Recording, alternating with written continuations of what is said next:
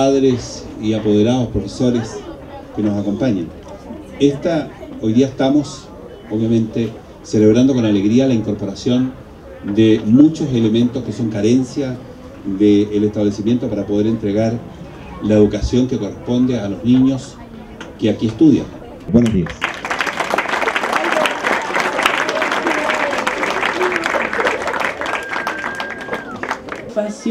encontré cambios muy notorios, con un patio prácticamente nuevo, inventado con jardinera, lo que hace que sea más agradable asistir a nuestra escuela. Agradezco a aquellas personas que hicieron posible esta anhelo que mejoró nuestro entorno. Gracias. Me encontré con la grata sorpresa que el patio estaba pavimentado con una estructura en donde hay plantas, la jardinera de juego ahora con plantas lo que hace más hermosa mi escuela. En nombre de mis compañeros y del mío propio, doy las gracias a aquellas personas que hicieron realidad esta ilusión de tener esta escuela más hermosa. Gracias.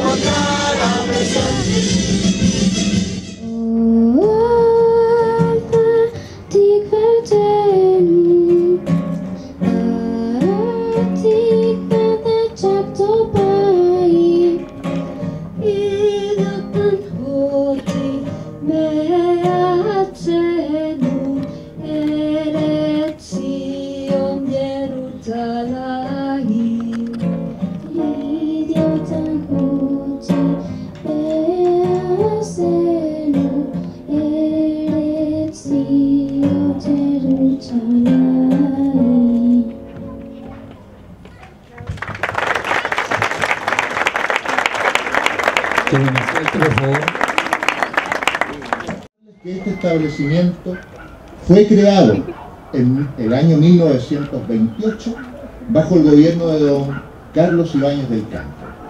Y funcionó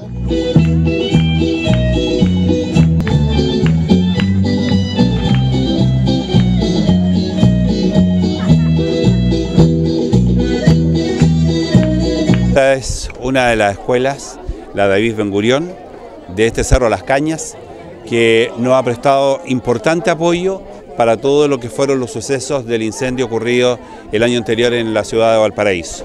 Y es por eso que aquí estamos hoy día llegando con la Fundación Proyecto Propio, con Entel, que ha tenido una gran participación en poder hacer una recuperación que nos permite inaugurar el año escolar con estos aportes que han sido reconocidos por los propios alumnos, por los padres, apoderados. Director de la Fundación Proyecto Propio y mm, más que nada manifestar nuestra alegría por, eh, por la concreción digamos, de este proyecto, sobre todo en, eh, e, en, esta escuela que cumple un rol fundamental en el, en el contexto del Cerro Las Cañas y, manifestar como agradecer en cierta manera ante él, al municipio, la oportunidad de, poder trabajar acá con, e, esta comunidad que, ha enfrentado digamos todo, todo lo que ha significado digamos lo del incendio y, y ayudarlos a tratar de salir adelante.